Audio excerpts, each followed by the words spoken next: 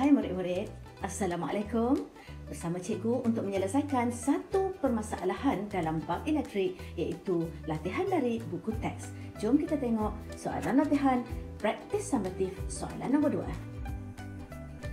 Okey murid-murid, uh, soalan nombor dua ini adalah melibatkan ya uh, satu rajah yang mempunyai uh, satu uh, komponen elektrik yang dinamakan perintang tetapi ianya dalam bentuk mentol.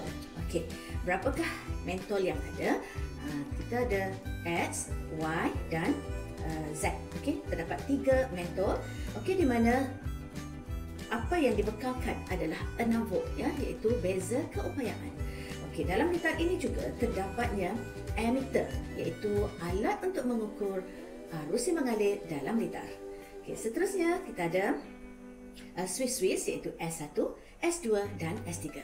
Okey, jom kita baca soalan ini.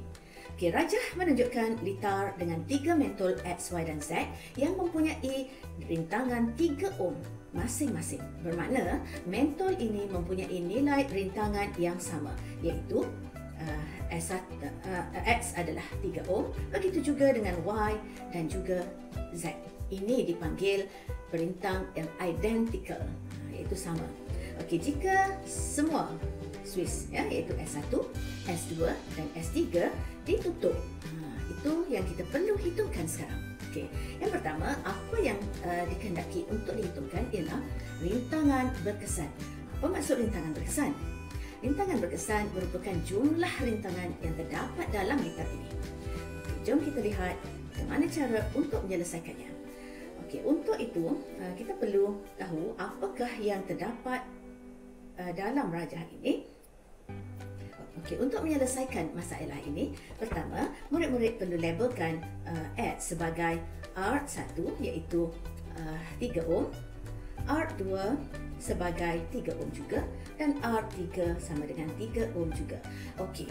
Jadi untuk uh, kita lihat bagaimana uh, mencari rintangan jumlah, pertama, ya, kita mesti uh, pastikan semua jenis uh, jenis sambungan litar ini.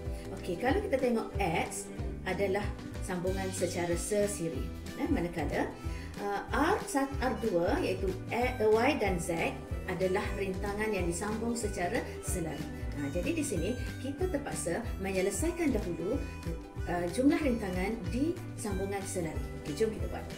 Okey, bagi uh, menjelaskan lagi kepada murid-murid, cikgu melukis satu uh, litar yang setara iaitu uh, R1 yang bernilai 3 ohm, R2 uh, R3 yang bernilai 3 ohm dan menggunakan rumus 1 per R selari sama dengan 1 per 3 tambah 1 per 3. Okey, kita akan dapat 2 per 3. Okey, untuk mendapatkan nilai jumlah rintangan yang selari ini, ya, ia adalah 3 per 2 ohm ataupun ditukar ke bentuk perpuluhan. Murid-murid tidak boleh tinggal nilai uh, uh, akhir ya pengiraan atau penyelesaian masalah ini dalam bentuk pecahan. Murid mesti tukar kepada bentuk perpuluhan. So 3 per 2 adalah 1.5 ohm.